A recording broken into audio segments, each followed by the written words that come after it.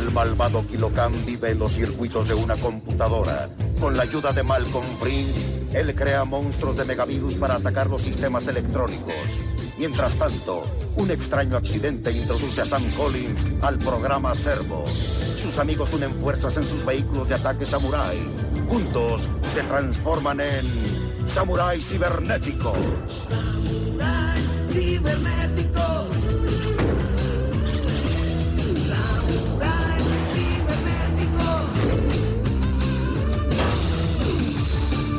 Van a acelerar. Se van a divertir. Y juntos demostrar que el ser un héroe es genial. Samuráis cibernéticos. Samuráis cibernéticos.